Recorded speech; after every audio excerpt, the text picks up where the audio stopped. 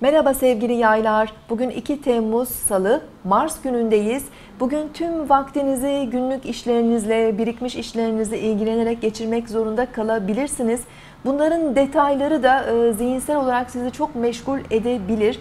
Ancak bazı konularda da e, engellerle karşılaşmanız söz konusu. E, günlük hayatınızda, ev hayatınızda kullandığınız aletlerde e, bazı sorunlar çıkabilir. İletişimlerinizde engellerle karşılaşabilirsiniz. Bu da günlük işlerinizi biraz aksatabilir. O nedenle çok fazla zorlamadan acil işleri bugün halledip e, diğerlerini e, ertelemenizde fayda var.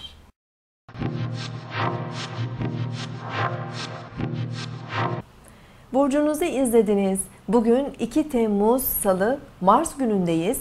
Ay gün boyu Boğa burcunda ilerleyecek ve güne daha kararlı, ağır ve sabırlı enerjiler veriyor.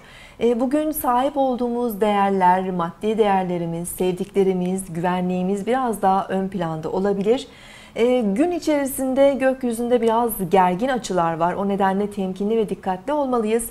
E, Güneş Plüton karşıtlığı söz konusu. Bu güç çekişmelerine, zorlanmalara neden olabilir. Özellikle otorite kavramlarıyla aramızda e, bazı çekişmeler, mücadeleler olabilir. Üzerimizde baskı hissedebiliriz. E, bunun yanı sıra sabah erken saatlerden itibaren Boğa burcundaki Ay ve Satürn arasında bir karşıtlık söz konusu olacak ve bu karşıt açıyı Aslan burcundaki Venüs de e, sert açıyla destekleyecek ve tek kare açı dediğimiz zorlayıcı bir açı söz konusu olacak. E, gün boyunca özellikle maddi manevi değerlerimiz, güvenliğimiz, sahip olduklarımız, duygusal bağımlılıklarımızla ilgili bazı kısıtlanmalar, e, kısıtlanma, sıkıntılar ve gerginliklerle karşılaşabiliriz. Özellikle sabit grup burçları boğa, akrep, e, aslan ve boğa burçlarının daha fazla dikkatli, anlayışlı ve sağduyulu olması gereken bir gündeyiz. Ee, akşam saatlerinde özellikle Ay, Güneş ve Plüton arasında olumlu açılar devreye girecek.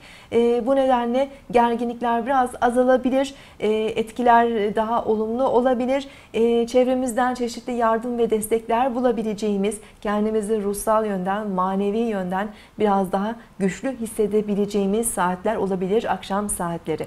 Yarın görüşmek üzere, hoşçakalın.